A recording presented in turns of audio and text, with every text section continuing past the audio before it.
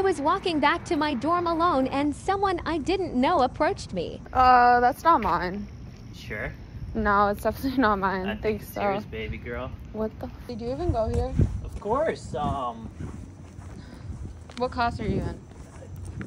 Professor? He wasn't leaving me alone and kept getting up in my personal space, so I video chatted a live agent on my invisaWear app. He didn't like the fact that he could be seen by someone who can send authorities to a live location at any second, so he left me alone. Follow for more.